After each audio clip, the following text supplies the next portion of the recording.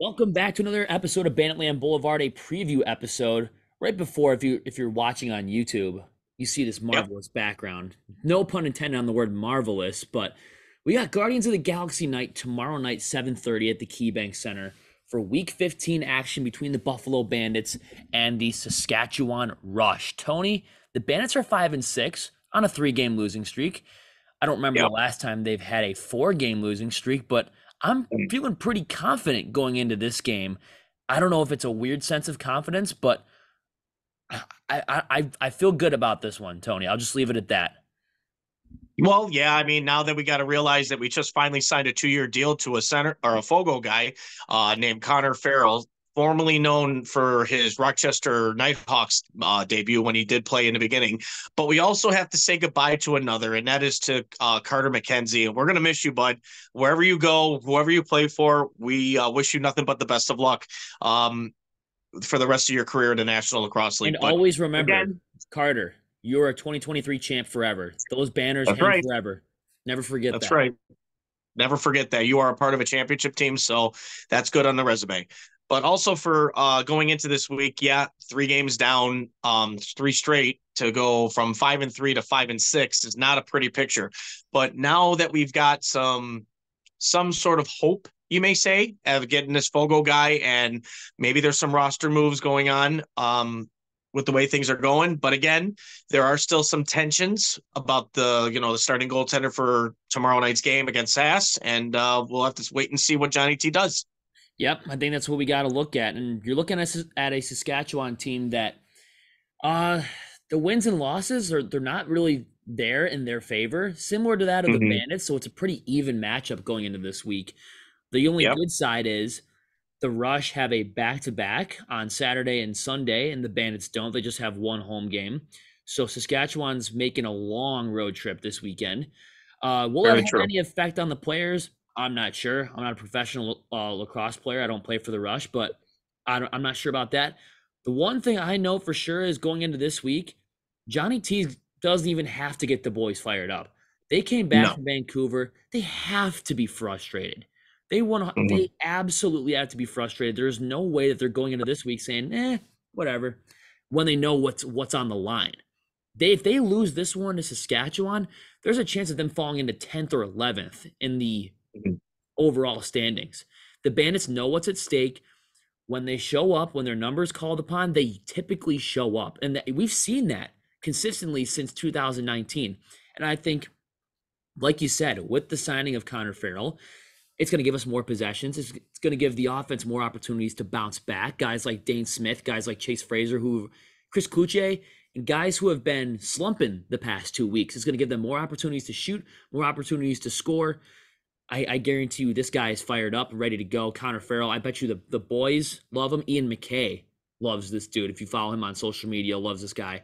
Um, so they get a new voice in that locker room, even though he is a Fogo guy, a new mm-hmm. voice, a new presence. I think the Bandits are fired up for this week. Yeah, I think so too, because he's not only just a face-off guy, but he's also transition. So he can work with uh, Kyle Buchanan as soon as the play gets started, or even his own former teammate that now their teammates again is Highfield, and Highfield could right. be right there along with them. So that's something we also got to look forward to. Is the you know now we could probably focus on getting the possessions that we need, the shot, more shots on uh, against our opponents, and hopefully uh, this will be a confidence boost for the team itself. But like I said, we got to take one game at a time, and it starts Friday night against Sass. That's right, and we're not out of it. And we talked off air last episode. The Colorado Mammoth, to compare us to them, they went to a game three of the finals last year at a nine and nine, 500 record. Do I want the Bandits to go nine and nine and barely squeak in? Absolutely not. I sure. want them to win a bunch of the games on their schedule. But mm-hmm you have a little bit of wiggle room here. As of right now, the Bandits really don't. This is essentially a must-win game. But yes, it is. Especially with this new playoff format, you're going to get some teams in the National Lacrosse League with some wacky win-loss records that are going to squeak mm-hmm. into the playoffs on a pass. The Bandits, sure. what they need to do is take care of business. And then once mm-hmm. you beat Saskatchewan, you better be scoreboard watching the game that's going to happen between the Rush and the Riptide after because – the Rush, we're going to be rooting for them in that game because the Riptide have the head to head tiebreaker over the Bandits right now. And uh, if they lose that game, that's going to be huge for the Bandits in the playoff standings. But we're worried about this game right now. We're I don't know what you think about these jerseys, Tony, the ones that are behind me. I dig them. I Mhm. think that they're pretty cool. Um, I like them better than the first one that we wore. The I like them better Right. than, the, than the Thor jerseys. I'm excited to see what the Rush are gonna bring. It's probably gonna be this like neon green jersey with this stuff on it too, which is also gonna be pretty cool. One of the Mhm. many benefits of being a season ticket holder at the Bandits games is you get to see all the sweet threads like this, and then back to back to back weeks at home, you saw the Native American jerseys. You're going to see these jerseys and the St. Patty's jerseys next week against the Toronto Rock. So I don't know if, if there's one takeaway in the preview that I know is a guaranteed certainty of Mhm. awesomeness, it's these threads. That's that's just my opinion. Well, I mean, based on the comic books, yes, that's what they uh that's what they made Marvel out of for the Guardians of the Galaxy. But again, I would have just been more accepted of even if they put the rec the, the raccoon on their jersey and had them all decked out in orange and black. That would have been pretty legit with Oh me. yeah, Um, but other than that, I didn't mind the Loki jerseys against uh Halifax the other night. Really, I thought those look really sweet. But these get these a little bit. mm, it's not bad. I'm not saying like they can't be more creative, but in a perfect sense, it suits it. And I There's you definitely know, a lot going on basically the for front. the Marvel night. So again, they I think they did a pretty good job of what they did based on the comic book. So again, it's gonna sell. You know, the fans of Marvel and and uh, obviously for Guardians of the Galaxy, these jerseys are going to go by pretty fast. So Oh, if you're not yeah. the first in line, you're the you're last and last to get any of them. So if you guys want to get those jerseys, please be the first to go down there and wait in line and get your tickets because it's I, guarantee you that's how they do it last time. So I think it was 5:30 last time the doors opened for the um, Dossaway I believe so, but I think if you get down there like early enough, you could be in line for like first dibs. So I would suggest get down there about 3 4 o'clock ish. there's definitely a lot going on in these jerseys, especially on the front. I dig Mm-hmm. them. I know a lot of people don't, but I always love the idea of creating a new uniform and wearing them the whole game. But uh, I Sure. think with that, I think we should get into the Saskatchewan Rush players to watch. There are quite Sure. a few of them on here that we know and we've we've definitely seen in the past. Uh, but Tony, we were mentioned a little bit off air. I mean, Yeah. the- you know, they don't have the best record, but similar to that of like Albany, take your pick. You can look at any one of these guys and look at them as a legitimate threat. There was one player I really want to look at. I don't know his all this stats offhand, but oh, it was this guy. Forward, Mike Triolo, six foot eight, 229. I mean, Jesus. he might not be like lighting the lamp all the time, but you're going up against a six foot eight forward. That's always intimidating. Yeah, you don't want to go up against like a Zdeno Chara up and he's a forward. Hell no.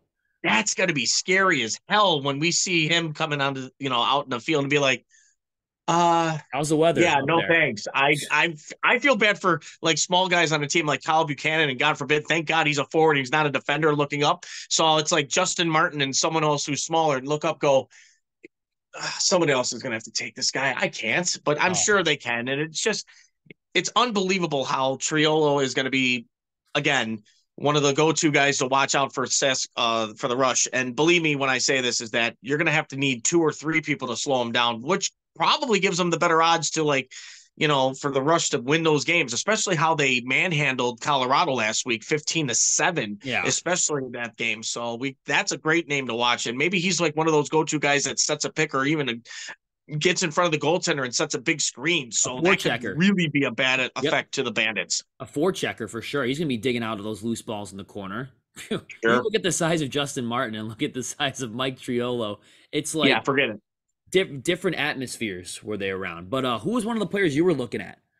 I was looking at one one of their longtime guys, and that's basically Robert Church. Church has been one of the well-known rush players that has been on the scoreboard a lot for them in the past to now. And I guarantee you that if the bandits can't slow him down, that's going to be one of the go-to guys to watch. That you'll see maybe three, four goals against us. And if we're not too careful, because we don't have Matt Vinc pl- probably playing tomorrow night either, um, you're going to have to really slow him down somehow. It's just like be a shadow or don't give him a chance to shoot. I was also going to look at their at their captain Ryan Keenan, another another forward. Uh, he Yeah. gets the boys going, and uh, we've definitely seen him in the past too. Great leadership from Ryan Keenan too. I know his team has been battling through a lot of adversity lately. They haven't had the best record, um, But when they went back to no, I think no, they went to back to back championships. They beat us in 16 and they beat us in yep. 17. A lot of those players aren't real aren't really around that organization anymore. Like I mentioned, Mark mm-hmm. Matthews mm-hmm. off air and how Toronto traded for him because the Bandits completely dismantled them in the yep. second round of the playoffs last year. So they had to go out and find a guy like Matthews. So there are we don't have to worry about a guy like Mark Mark Matthews this week. That was always my circle player whenever we go to the rush games or we go to Edmonton or Saskatchewan, wherever they were playing. So we don't have to worry about a, a lefty lethal sidearm shot like Mark Matthews. But you do have guys that are going to compensate for that.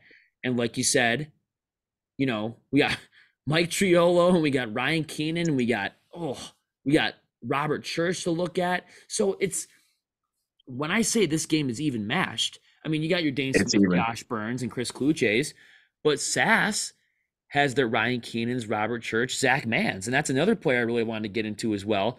Somebody who's very underrated in, in this league. I think I think well, Manns he wears number two.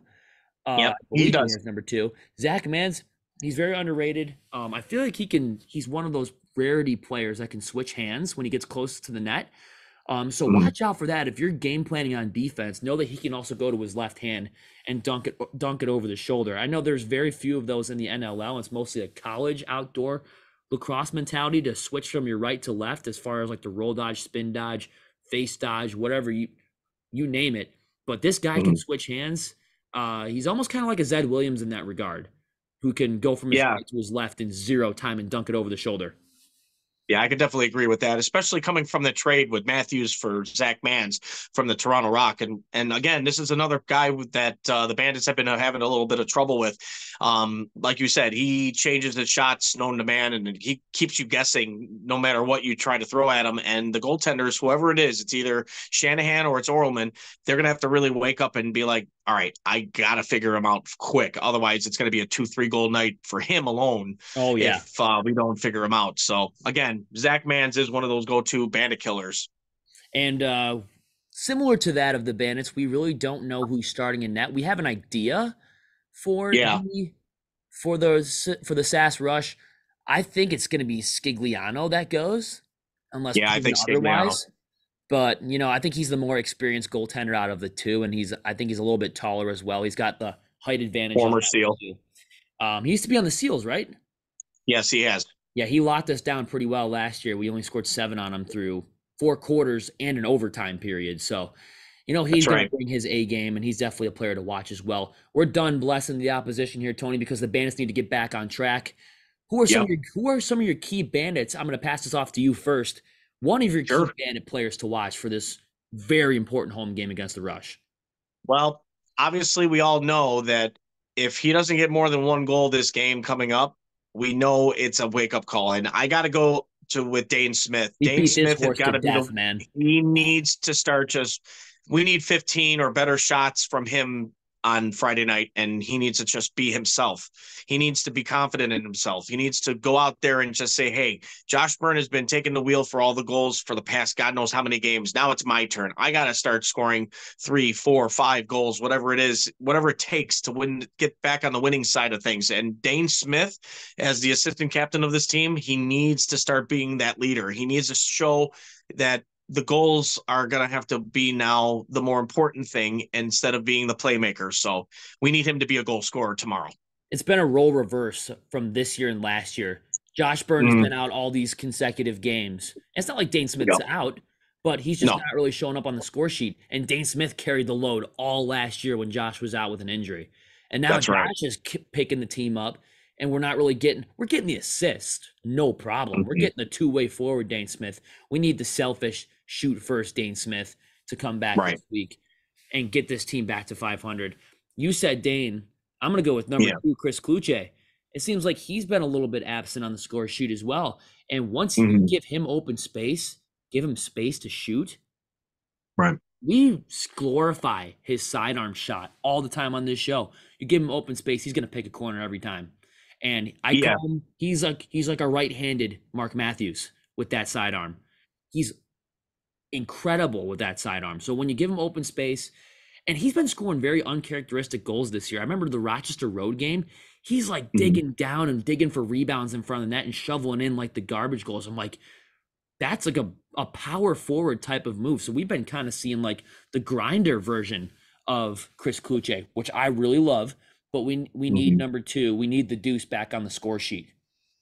Yeah, I think Chris Cloutier is one of those go-to guys, especially how I believe when he had the uh, open opportunity when he stole the ball and he was right there in front of the net and he still couldn't uh, finish. Uh, that was the Vancouver game actually. He got robbed. when he did steal. Yep, and he got robbed. So again, he needs to find them spots where the goalies are not going to be able to protect the you know the net. So he needs to really dig deep, and we need to see that powerful sidearm shot, like you said, and have number two get back on the scoring sheet again because it can't be just relying on uh, the two players that we well known as Josh Byrne and Dhane Smith. But like I said, Dhane Smith does need to start waking up with the goal department, and I think Chris Cloutier also has to do that too. One hundred percent. What about the face-off guy? He well, has the spotlight on him. Look at what the fan base is saying, including us what a lot mm-hmm. i want to say like a good 70 75% of the fan base that's been yep. kicking the seat in front of them saying oh my god we can't win face offs to save our life right look at this new guy coming in i think he's got like the big other than the goalie and we'll get into the goaltending yeah i think he's got the biggest spotlight on him going into this game we got a new face a new mm-hmm. fogo guy a two-year yep. contract connor farrell is one of the biggest players to watch in this game on both sides Yep, especially with the fact that now it's going to be, well, either I win 40 to 50% and get these guys back on track with the way how Max Adler did, or you fucking uh, dominate, or, or you or, absolutely fucking dominate. That's true too, but he's also taller and he might be a little bit more tougher than we had with Max. And I'm not saying any disregard for Max Adler's uh, improving from year to year and going from losing a championship to winning a championship. Um, Connor Farrell is going to have to show the Buffalo Bandits offense or the transition, hey, you can have faith in me. I'll win the faceoffs of whatever I can. It's just going to be a little bit more grittier. And I think I like the move because, especially the fact of his size, is that he's six foot two and he's got a little more. You know, he's got like 250 pounds. Uh, I could be wrong about that, oh, but again, big dude. Yeah, he's a big dude, and you know what? That's something we need. We need another guy who could push you back. And so Connor Farrell is going to, like you said, he's going to have the spotlight on him. Maybe a little bit pressure, maybe not. Maybe he would like that. So again, that's good news that he's coming to a team who's well known and could possibly gel him in the right direction. And he looks like Thor, and we're, we're playing on Marvel Night. His his debut is happening on Marvel Night, so I mean that. And Thor used to be on Guardians of the Galaxy in the last couple of uh, movies, so that's all the call. pieces are falling in the right place. If you want to go defensively, man, mm. we're so banged up defensively. But if you wanted to pick yes, someone on D and someone who has yet to really strut his stuff to his full potential this year, and he's coming back. I'm going to go with 83, Frankie Brown. Look for a physical yeah. presence out of him. He loves to get the ball in a transition, get it up the floor real quick. Frank Brown, yeah. this is going to be his breakout game this year. Watch out for 83.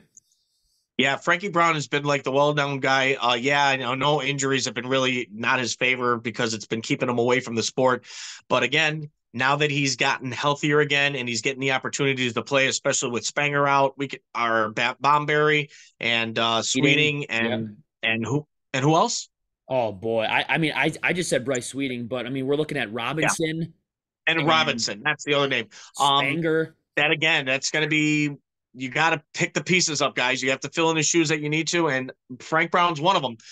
But another guy that, since we're mentioning defense, is Zach Belter. Belter has been um, yeah, he's been tough and he's showing he's tough, but he needs to be smart about being yeah. tough yep. because you got to pick your spots at the right moment. You can't just go and be tough at somebody and then try to knock their head off and then take a dumb penalty because it's just going to put the guys back in the box. And then you know what?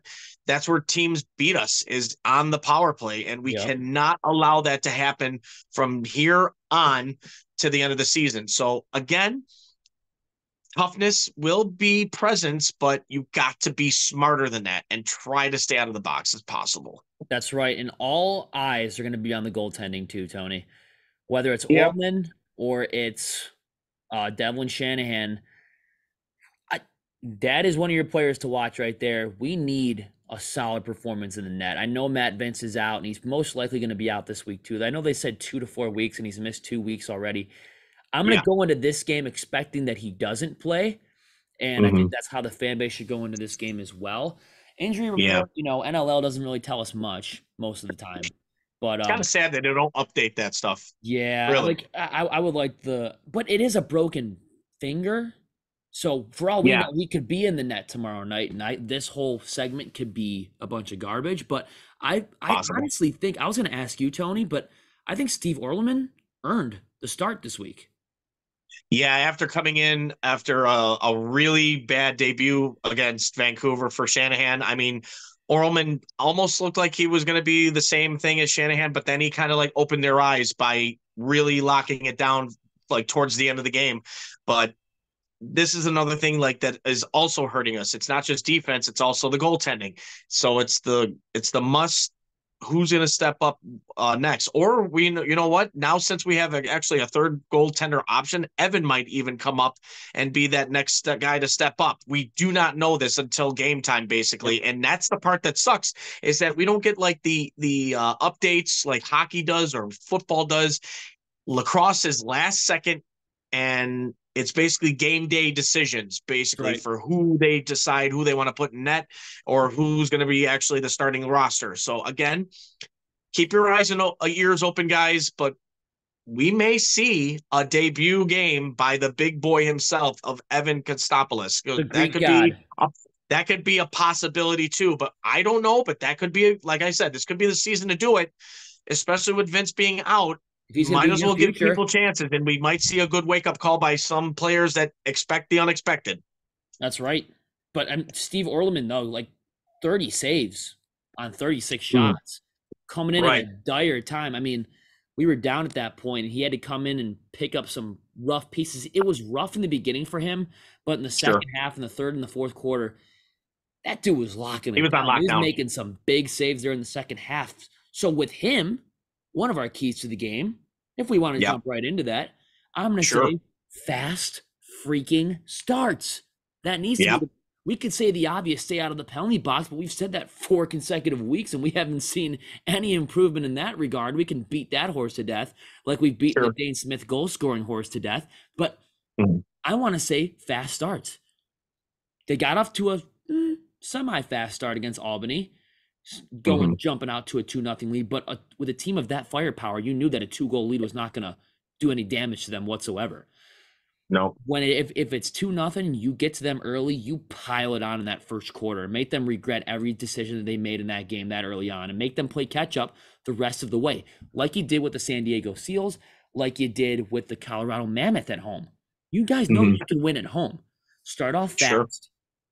and make them play catch up the rest of the way Yeah, but you also got to. I like the one comment that you also mentioned too is that you have to play all 60 minutes. I don't 60 care. that's key too You can't too. just play a half. You can't play just play a quarter. You play the whole game through.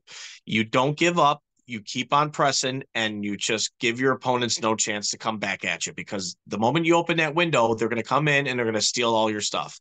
Basically, you just have to play your game and nonstop 60 minute of lacrosse. That's basically the way it should be is that you you start to finish. Done deal, said enough. According to the manual of the New York State uh, Driving Motor Vehicle or the Bureau of Department of Motor Vehicles, the DMV, Mhm. they say that when you're on the highway and you're coasting, do you know what that's a form of? No. Braking. Coasting is braking. When you coast to Mm. the finish line, you are braking. When you brake in a race, what happens? The other cars around you pass you. It's like that scene from freaking Talladega Nights where he's going around with a with a broken arm and he's driving like 26 miles per hour and the other cars are flying past him. When you're in the third quarter and you have a two goal lead and you take your foot off the gas, what happens, Tony? They pass you. They pass you. You have to play a full 60. And that was key number two. That was what I was going to say. Exactly. You read my mind there. Key three Yep. face offs. We're back to that. Face offs. Can we get Yep. 40 to 45%? I like to see 50. I like to go half. That's all I'm asking. For the Yeah, first 40 game, I like to see half. We'll say that 45 to 50% face offs. When Sure. that happens, if you can get 45 to 50, Mm-hmm. and which is going to go into my next key, the fourth and final key, uh, Mhm. the offense executes. You're going to give them more opportunities to execute Yeah. on offense. Chances are you're probably going to win that game. Yeah, I would like to see them uh, set the tone and actually uh, get the possessions that they need. And another key thing too, and this is probably going to be every game from here to the end. Got to win those small battles, which is get the loose balls and control the clock. That's going to be another thing too. When you have a lead and you have strong forecheck and you can mm-hmm. control the clock the best way, there's no team that's going to stop you. None. I always go back to game three because that is what this team needs to do again. You're still missing a couple guys, but this team still has the full potential. You look at this at the Bandits roster right now; they mm-hmm. can absolutely do that again. They're just being yep. limited by dumb decisions, taking shots from the outside. Um, right. Um, injuries here and there, but injuries weren't an excuse last year. I'll tell you that, and they won the championship.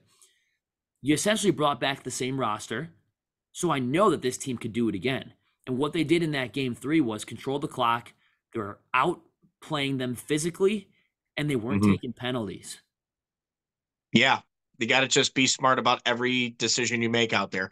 And I know it's fast paced and it's going to be a second to decide, but you have to like you use your teammates, move it around. It's it should be a, just a basic one pass, take the shot after, then get the rebound, do it all over again. Use that 30 seconds, you know, get the fresh clocks and do it again.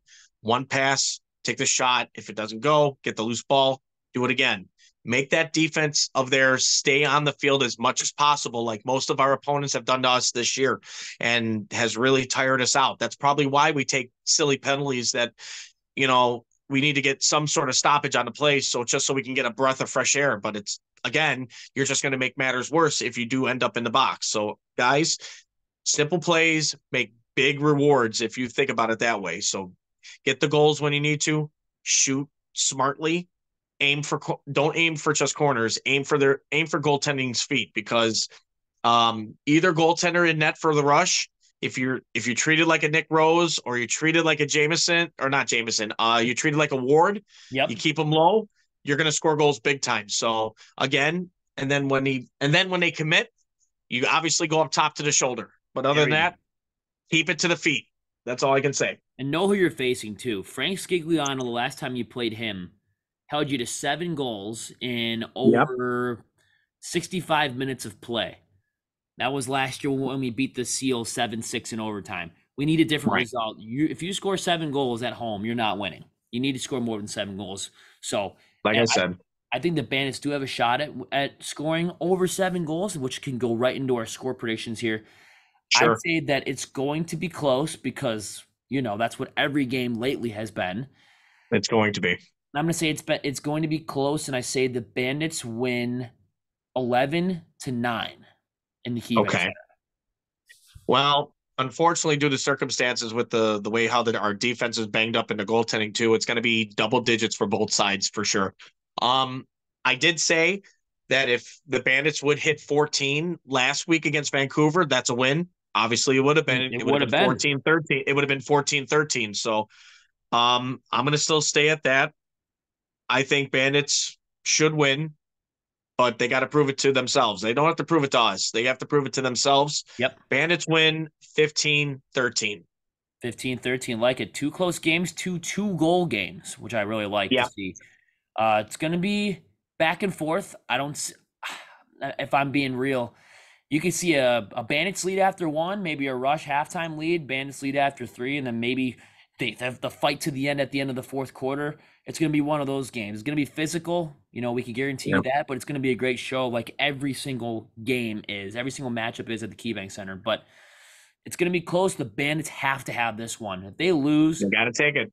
We'll come on here and have a different narrative about hmm, we we might be starting to begin to talk some off-season stuff if they lose against the Rush because they five and seven and six and six are two different atmospheres from each other. But take it game by game, six and 6 mm-hmm. you, you, have to get to 500 first and foremost, and then go into Toronto with a chip on your shoulder, or go up against Toronto because you're at home.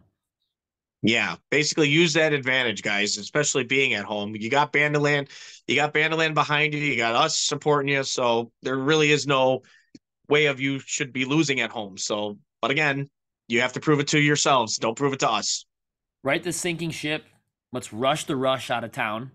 Send yep. them up the send them up the turnpike going up against the riptide with their tails between their legs. and let's win this game and go six and six, go back to 500. Give us something to cheer about, and Yep. give us a crown. We have the crown in our hands, Mhm. but we're we're fumbling it. We can't really defend it too well. Just take it game by game. But I got can 11 9. You got 15 13. Tony, Yep. it's only time to hit him with the sponsor now. Sure can. Guys, we'd like to thank those for uh, our main sponsor is Mitchell's Tavern, located at 734 Sheridan Drive up in Tonawanda, New York. For the best service and the best food around town, go check it out. Mention us at Banditland Boulevard, Tony Lamonica, aka Boxhead 98TL, alongside with Trevor the Power Hour. Um, those who are watching us on YouTube, we'd like to see you guys like and subscribe our videos. Um, hit that notification bell for every time you hear about Buffalo Bandits lacrosse and that every time we pop up. And also for those who are listening to every single device known to man and on Spotify.fm and Anchor, give us that five star rating that we love to talk about Buffalo Bandits lacrosse for you and for all those who love the sport. That's right. Couldn't have said it any better. I got 11 9, week 15. You got 15 13. We both got Bandits winning. Surprise, surprise.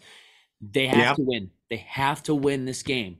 If they really Yes, they do. want a legitimate shot going down the road here, down the stretch, It starts tomorrow. maintaining a playoff spot, I would say this is equivalent to a postseason game. Win this one. Mhm. Use that mentality. This is a postseason game. This is a playoff mentality. And it will be when you get 17,000 plus wearing their orange and black gear tomorrow night at the KeyBank Center. It's going to be a packed house. It's going to be a fun game to watch.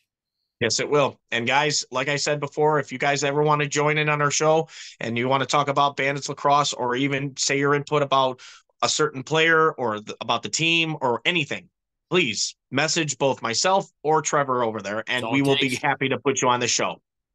That's right. And uh, we've we've had a couple guests before, and it's been it's been a blast. So Yes, we have.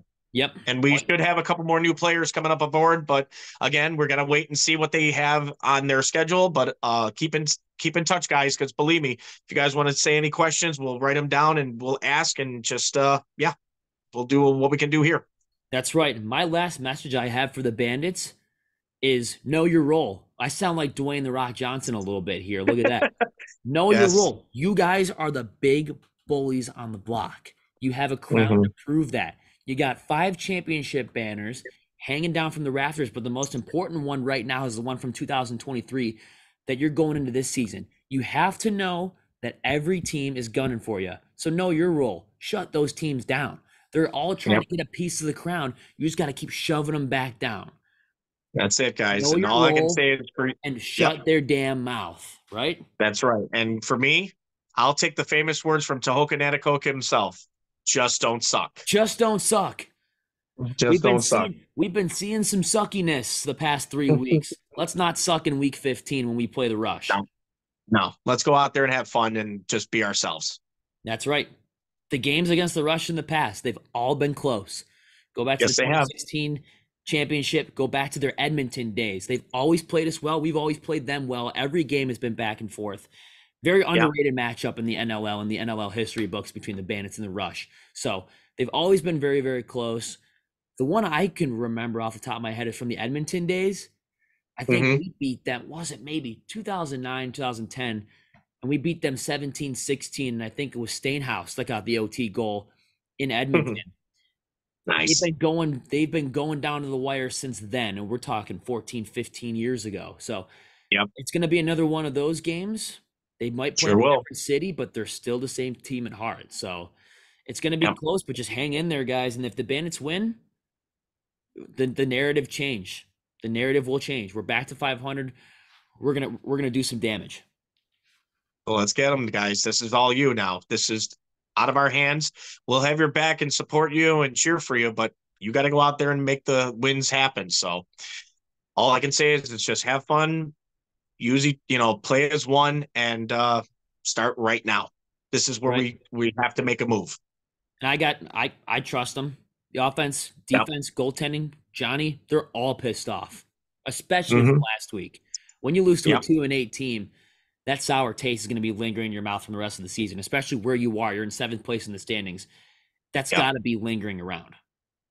It is. and It's got to be because it's the way, you know, three of the straight losses would be like, hey, I don't know about you guys, but I'm starting to hate being losing. Like I hate to lose. Yep.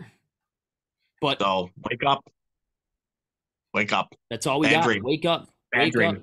It's, this is a bad dream, and you can wake up from it with a big win. So, with that said, win, lose, or tie, which isn't even possible, but we always leave Mhm. it with these three words at the end of our Banditland Boulevard show. What are those three words, Tony? Let's, Let's go, Bandits. bandits. Let's go. Just don't suck. Just don't suck, boys. Go get that Let's go. dub. Go get it.